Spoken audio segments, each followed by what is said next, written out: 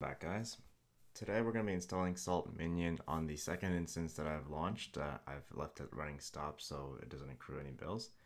Um, we're going to use user data to go ahead and install the Salt Minion on this so it does it during boot time.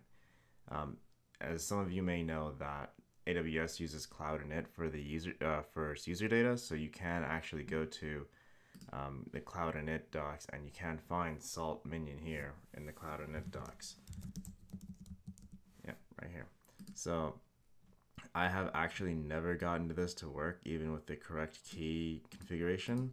So we're not going to use this method. We're going to use a method that I know which, which works. So let's go ahead and build our user data details or actually user data script to go ahead and install Salt Minion. So first, well, this is this is gonna be a bash script, so we need to specify slash bin bash. And the second thing, we need to install pip. Um, so we have to get that particular URL and to get that particular URL and be able to install it. So yep, this is the one we need. So let's go ahead and curl that URL and install it with Python.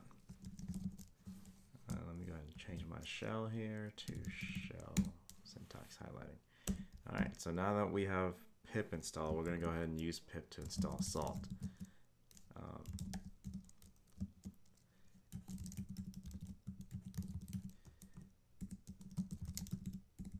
now,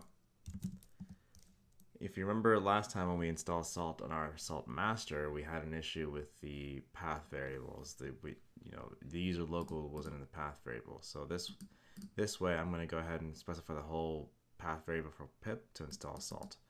That way we don't run into this issue.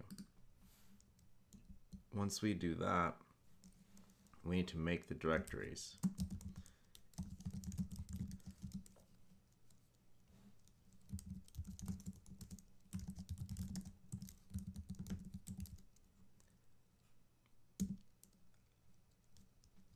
And we need to configure salt to go to the correct master. So we have to specify to go to connect to the correct master. So let's configure this minion. So echo master is this particular, the master's private IP address. Again, you want to use a private IP address because you want it to route internally, not externally. So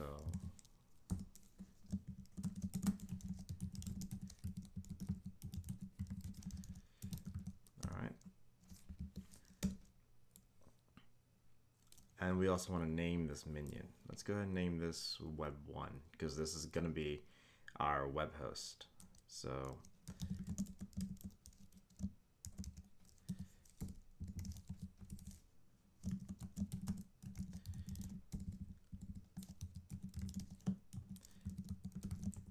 and that's the file, the minion underscore ID file that we need to specify for the name of the minion. Alright, so now that we've got the minion configured, um, we would just need to run salt.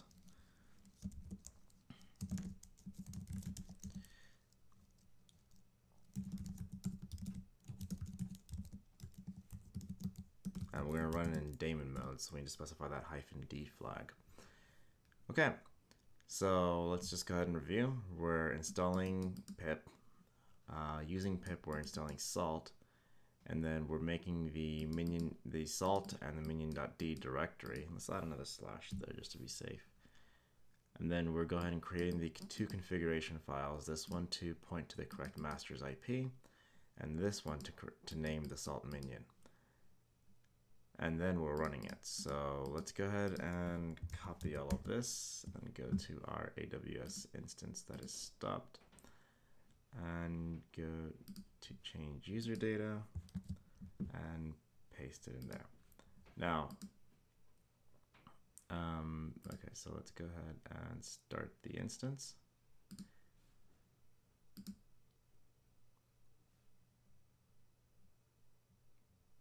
All right, so I'm going to take a pause here and then I'm going to restart the video uh, when this is finished launching. All right, so I'll see you guys in a bit.